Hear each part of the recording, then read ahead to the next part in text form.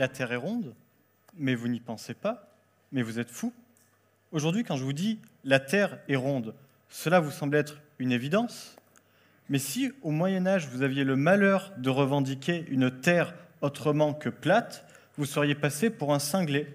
Eh bien oui, l'opinion principale pensait que la Terre était plate, mais peu savaient qu'elle était ronde. Eh bien comme quoi, la majorité n'a pas toujours raison. Faire du Made in France, mais vous n'y pensez pas, mais vous êtes fou. Aujourd'hui en France, quand on dit Made in France, on pense au vin, au fromage, au luxe, on s'imagine des produits de niche qui sont toujours beaucoup plus chers que les autres. N'est-ce pas vrai? Qui parmi vous n'a jamais redouté le prix d'un produit affiché Made in France face à un produit équivalent Made in n'importe où ailleurs?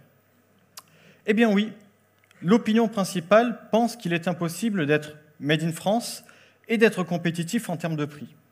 La preuve, on ne fabrique plus rien en France. Tout ce qu'on a autour de nous n'est plus fabriqué en France. C'est bien qu'il doit y avoir une raison Non Eh bien non. Moi, je pense que la désindustrialisation n'est pas un processus irréversible. Je suis convaincu qu'il est possible de concevoir et de fabriquer en France des produits innovants et de haute qualité. Et cela, je vais le prouver grâce à Bob. Bob, non pas Bob l'éponge que vous connaissez tous, mais Bob le mini lave-vaisselle, Bob le mini lave-vaisselle made in France. Faire un lave-vaisselle made in France, mais vous n'y pensez pas, mais vous êtes fou. Ou bien vous avez pris de la drogue, comme me demandera Marc Simoncini sur M6. En 2016, quand l'idée de Bob prend forme dans la tête d'Antoine, mon associé, et de moi-même, c'était avant tout juste pour le fun, une idée voilà, euh, sortant d'école d'ingénieur pour répondre à un appel à projet. Et jamais on n'aurait imaginé l'ampleur que cela prendrait. Et puis, euh, on s'est pris au jeu. Tous les deux, on était convaincus du potentiel de notre produit, qu'il allait révolutionner le marché, qu'il allait apporter du bonheur et de la simplicité à des centaines de milliers d'utilisateurs. On avait beaucoup d'ambition, mais aussi des convictions, celle de servir le Made in France. Mais à cette époque, des convictions face à des investisseurs, cela ne suffisait pas pour qu'ils nous suivent. Pour eux, on était de jeunes étudiants, slash entrepreneurs, slash fauchés, slash fous, au fond d'une cave à Paris, Bien oui, parce qu'on a commencé dans une cave à Paris, pas dans un garage. Et euh, bah, cela ne suffisait pas pour qu'ils aient envie de nous suivre. Ils nous riaient étonnés, mais vous ne ferez même pas 200 précommandes. Et encore, 200, ce serait déjà un exploit. Bref, on n'était pas crédible. Pourquoi? Parce que notre idée n'allait pas dans le sens de la majorité de ce qu'il se faisait. On aurait pu jeter l'éponge, c'est le cas de le dire. Eh bien non. Nous, on ne pensait pas que c'était impossible. On savait que c'était possible. Et pourquoi? Parce qu'on le faisait. Oui, je suis convaincu que celui qui fait, c'est celui qui sait. Faire du Made in France, mais pourquoi Pourquoi donc, vous vous demandez? Ben, C'est ça le problème en France. On passe son temps à réfléchir, à disserter, à faire des rapports, que personne ne lit d'ailleurs, à réfléchir au pourquoi, au lieu de réfléchir au comment et surtout de le faire. Je suis convaincu que celui qui fait, c'est celui qui sait, et celui qui sait, c'est celui qui peut faire. Moi-même, je suis ingénieur de formation, et avant de lancer Bob, je n'avais jamais étudié les lave-vaisselle. Enfin, il n'y a pas d'école supérieure du lave-vaisselle en France. Je ne savais pas comment ça fonctionnait, et je n'aurais même jamais imaginé en fabriquer euh, un jour. Enfin, quand on me demande est-ce que tu pensais faire des lave-vaisselle tout petits Non, ce n'était pas mon rêve euh, de faire des lave-vaisselle. Mais cela ne m'a pas fait peur. Pourquoi? Parce que faire un lave-vaisselle, c'est certes compliqué, mais ce n'est pas conceptuellement impossible. Rien des lois de l'économie ou de la physique ne s'oppose conceptuellement à fabriquer en France un lave-vaisselle. Et puis, quand vous prenez le compliqué, c'est un enchaînement de processus simples qui demande de la technique. Et si vous prenez chaque étape une à une, le compliqué devient simplicité à la façon des notices de meubles IKEA. Alors, pour apprendre comment faire un lave-vaisselle en France, on a appliqué la méthode Made in China. Oui, les Chinois auxquels on rendait visite en 2019.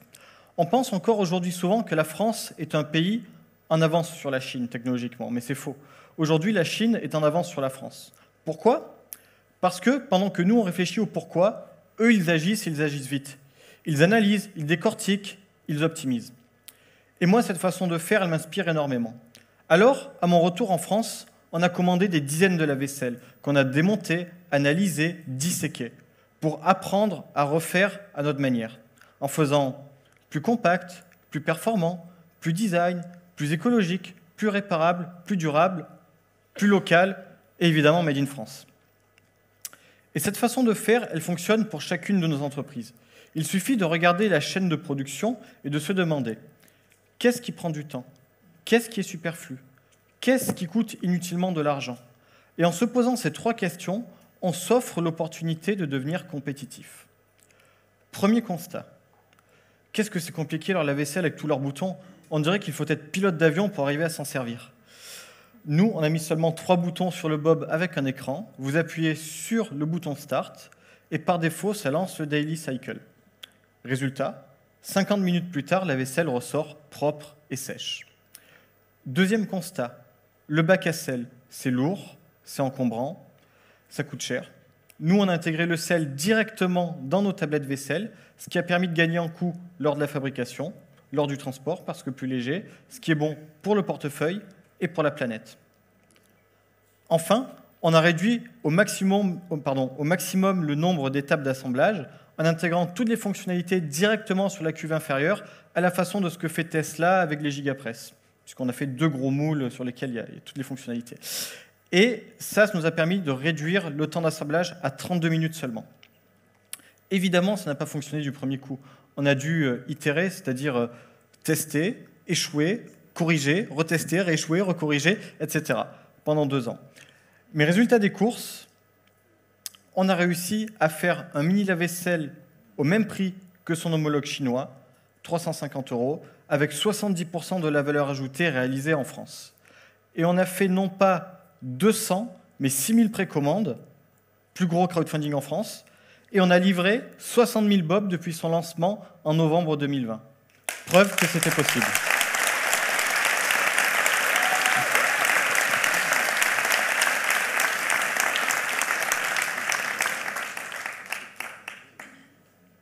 Mais alors faire du Made in France, à quoi cela sert?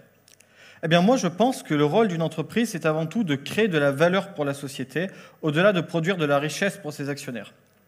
Je pense que si on arrive à faire du Made in France et à l'exporter partout dans le monde, on recréera une réelle fierté d'appartenance, un réel sentiment enfin voilà, de fierté, euh, à la façon de ce qu'ont les Allemands lorsqu'ils exportent le Made in Germany et la Dutch Qualität partout dans le monde.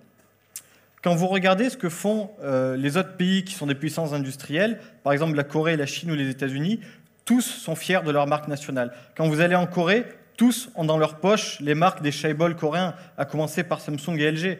En Chine, ce sont les BATX avec Huawei et Xiaomi. Et enfin, quel Américain n'est pas fier d'être américain lorsqu'il a une Tesla, un Mac, un iPhone? Eh bien moi, j'espère qu'en France, on recrée des marques fortes qui nous unissent, qu'on arrive à créer des champions nationaux et demain internationaux qui exportent le Made in France partout dans le monde. Exporter le Made in France partout dans le monde Mais vous n'y pensez pas, mais vous êtes fous. Eh bien moi je pense que le Made in France a une vocation à redevenir un standard. Nous, on l'a fait chez Dantec puisqu'on exportait 60% de notre, de, de notre production dans le monde. Je suis convaincu que cela prendra du temps, mais que cela est possible. C'est un pari non pas fou, mais ambitieux. Et ambitieux, j'ai toujours été parce que, fils d'ouvrier, j'ai pu étudier grâce à des bourses.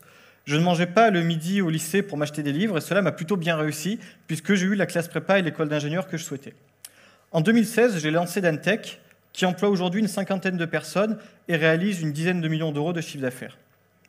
Et cela me rend extrêmement fier. Car oui, pour moi, le Made in France est une fierté.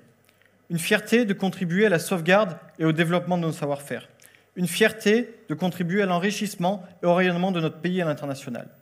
Alors vous allez me dire, certes, un lave-vaisselle, ce n'est pas ce qui va sauver l'humanité, mais cela prouve que c'était possible. Parfois, la bonne, la bonne idée, l'innovation, c'est simplement faire un pas de côté sans forcément chercher à changer le monde, comme on dit dans l'univers des startups.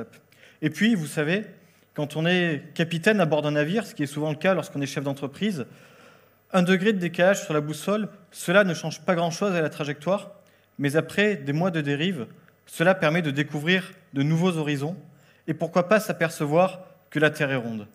Alors, partant, jetez l'éponge, adoptez Bob. Merci pour votre attention.